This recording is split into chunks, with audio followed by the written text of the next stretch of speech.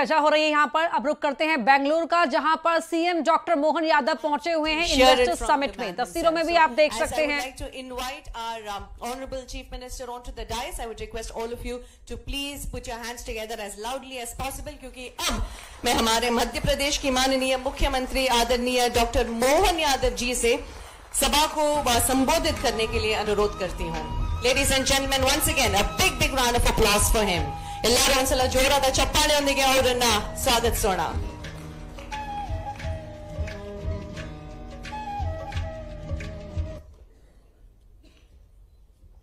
देश के silicon valley के नाम से प्रसिद्ध बेंगलोर की इस धरती पर मन आनंद से भर गया आपका उत्साह उमंग देख करके आप सबका स्वागत करता हूं नमस्कार मंच पर जिनकी गरिमामय उपस्थिति है, पद्मश्री, मेरे नाम राशि श्री मोहनदास पाई जी, आपका अभिनंदन है। को founder and partner Aarin capital partners Shri श्रीमान ग्रीन को ग्रुप के चेयरमैन अनिल कुमार जी, आपका भी वंदन है, अभिनंदन है।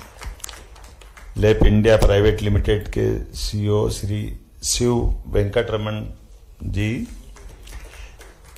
vice chairman CIA Siddharth Sethi ji, मंच पर उपस्थित मध्य प्रदेश सरकार के सभी माननीय अधिकारीगण, इस अवसर पर अलग अलग क्षेत्र से आए हुए निवेश क्षेत्र की स्वनाम धन्य हस्तियाँ ऑस्ट्रेलिया की हमारी अपनी राजनयिक परिवार से वो भी हमारे हिस्सा बनी है। आपका भी वंदन है, अभिनंदन है। सरकार के माध्यम से कर्नाटक आकर के आज के इस दौर में जब आपसे मैं बात कर रहा हूँ तो कर्नाटक के हम सब, बेंगलोर की इस वर्तमान की दशा के लिए जिन्होंने अपना खून पसीना एक करके भारत का मान बढ़ाया, सम्मान बढ़ाया, ऐसी सारी हस्तियाँ बैठी है। मैं आपका वंदन करता हूँ, अभिनंदन करता हूँ। भारत को दुनिया में हज़ारों साल से सोने की चिड़िया के नाम से जाना जाता था। और ये केवल कहने वाली बात नहीं, हमारी उद्यमशीलता की, हमारी परिश्रम की, हमारे काम करने की, कार्य पद्धति की और सबको लेके साथ चल करके मानवता के मार्ग दिखाने की हज़ारों साल की हमारी एक पहचान रही। उस पहचान में हमारी उद्यमशीलता भी छिपी हुई है, कल्पनाशीलता भी छिपी हुई है, बौद्धिक क्षमता भी छिपी हुई है। और ये बौद्धिक क्षमता में व्यावसायिक निपुण, निपुणता की ही प्रकाष्ठा है कि यशस्वी प्रधानमंत्री के नेतृत्व में हम केवल स्मरण करें, कुछ साल पहले तक भारत की इकोनॉमी की दृष्टि से कहीं गिनती होती नहीं थी। ऐसा लगता था कि जरा हमारे लिए बोलने के लिए ज़्यादा कुछ है नहीं। लेकिन कम समय के अंदर हमारी अपने उपलब्ध संसाधनों के बलबूते पर और ये बौद्धिक क्षमता के भरोसे से दुनिया की पांचवी इकोनॉमी बनाकर के माननीय मोदी जी ने जो कमाल किया है उसमें निश्चित रूप से आपका बहुत बड़ा योगदान है और बदलते दौर में जिस प्रकार का समय चल रहा है, कदम कदम पर हमको अनुकूलता भी दिखाई दे रही, चुनौतियाँ भी दिखाई दे रही। और अनुकूलता चुनौतियों में से अलग अलग बहुत सारे सेक्टर निकल के आ रहे हैं, जिसमें बहुत बड़ी एक हमारी अलग राह निकल रही, जिसके भरोसे से निश्चित रूप से हमारा अपना आने वाला भविष्य बहुत उज्जवल होने वाला है। मुझे इस बात की प्रसन्नता है, यशस्वी प्रधानमंत्री की तीसरी बार की सरकार में जो उनने आह्वान किया था और पूरे देश ने एकजुटता के साथ जिस रास्ते पे माननीय मोदी जी की सरकार जा रही है, उसमें सभी ने कदम बढ़ाया है और आपने सबसे ज़्यादा महत्व की इस मार्ग को आगे बढ़ने के लिए हिम्मत दिखाई। मैं आप सबका वंदन करता हूँ, अभिनंदन करता हूँ। कुछ चुनौतियाँ भी हमारे देश की है, जिस चुनौतियों के भरोसे से हमारे मेहनत का साथ अपनी मेहनत तो करते हैं। मेहनत करने में कहीं कोर कसर बाकी नहीं। लेकिन उचित मार्गदर्शन, टेक्नोलॉजी का योगदान, अंदर की इच्छा शक्ति को आगे बढ़ने के लिए ललक लगाते हुए लोग, लेकिन नवीन अनुसंधान की नई परंपरा में, नवीन स्टार्टअप के माध्यम से जो मार्ग खुलता है उस मार्ग के माध्यम से निश्चित रूप से भारत की तरफ़ दुनिया देखेगी और भारत अपना हक हासिल करेगा। ये हमारी बड़ी संभावना है।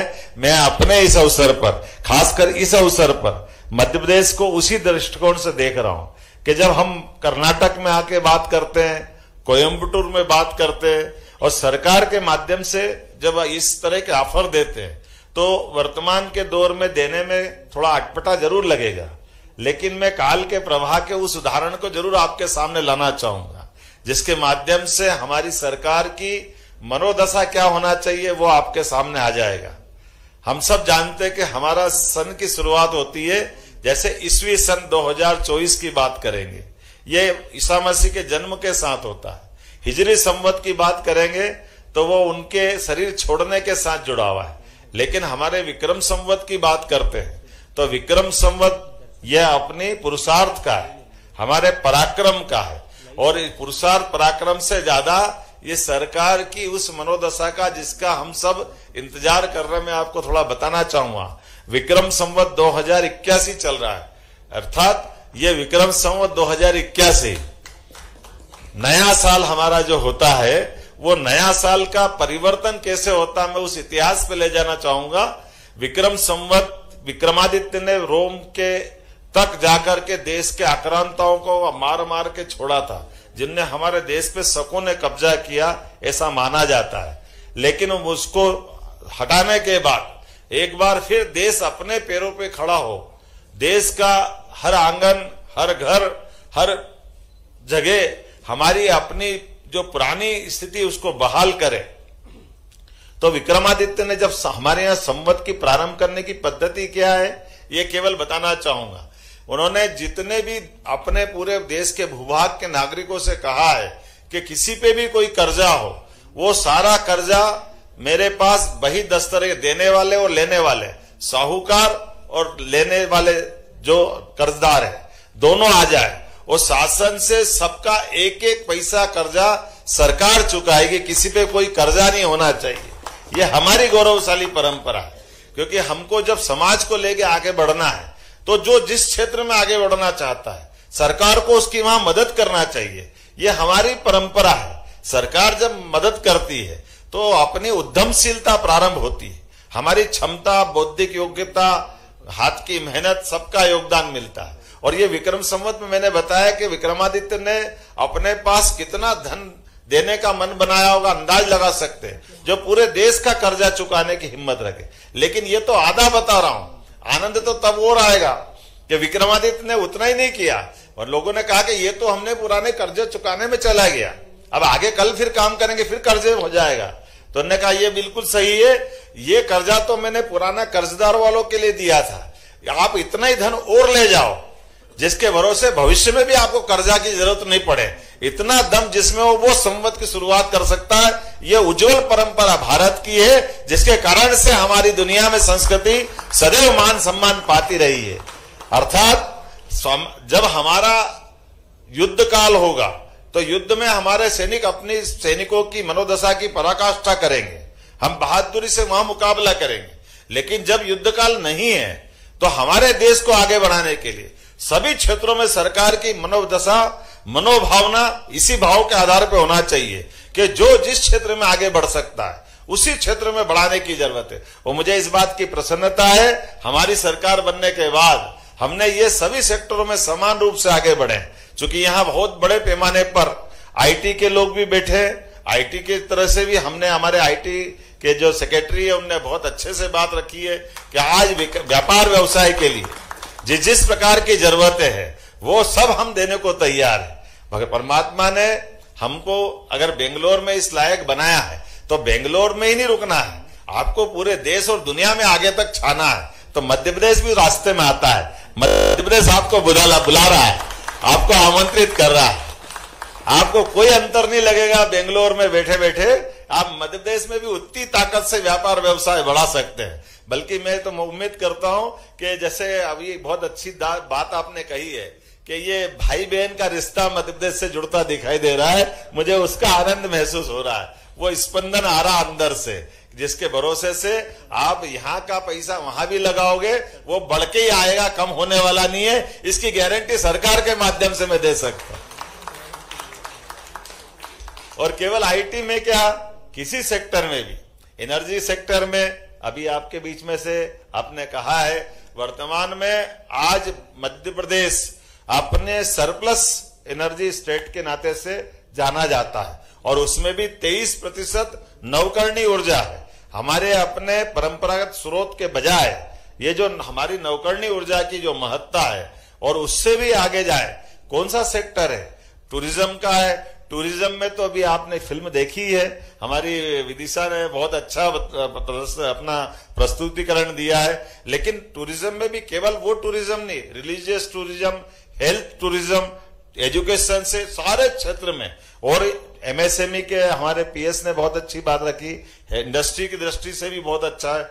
फ़ूड इंडस्ट्री की भी बात करें तो जैसे आपने बताया कि अब ये धान का कटोरा देश का हो गया है, मध्य प्रदेश अपने यहाँ अपनी पहचान इस नाते से बना रहा है कि सर्वाधिक एग्रीकल्चर ग्रोथ रेट कहीं की है तो मध्य प्रदेश की है। और हम अपने भारत सरकार के अंदर भी एफसीआई को पूरे देश में सर्वाधिक गेहूँ की सप्लाई कोई करता है तो हमारा अपना मध्य प्रदेश करता है। और केवल गेहूँ नहीं, दलहन उत्पादन में भी उतनी आगे है। और बल्कि आगे बढ़े तो हमारा अपना हॉर्टिकल्चर सेक्टर भी बड़े पैमाने पर आज जितनी अपनी उत्पादन क्षमता है, अपने उस छोटे से अंतराल में बहुत तेज़ी से आगे बढ़ा है। तो बहुत बड़ी संभावना है। ज़्यादा मैं कुछ बोलूँगा नहीं, बोलने के लिए तो बहुत कुछ है, लेकिन काफ़ी समय हो गया हम पत्र लिखते हैं, और पत्र लिखते तो पहले आजकल तो पत्र का जमाना कम हो गया पहले लिखते थे तो उसमें पूरी कहानी लिखते और लिखते लिखते जब अपन आखिरी बात करते कि अब आगे क्या लिखे, आप खुद समझदार है। उम्मीद करता हूँ कि मेरी बात आप समझेंगे। बहुत बहुत धन्यवाद।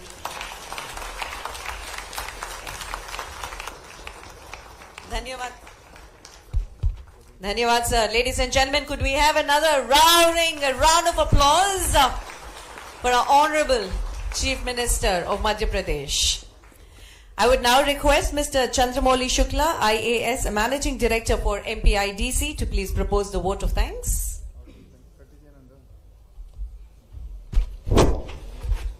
बहुत ही आदरणीय माननीय मुख्यमंत्री महोदय मंच पर उपस्थित आदरणीय पाई साहब आदरणीय अनिल कुमार जी आदरणीय शिव वेंकट रमणी जी आदरणीय सिद्धार्थ सेठी जी मध्य प्रदेश सरकार के सभी वरिष्ठ अधिकारीगण और इस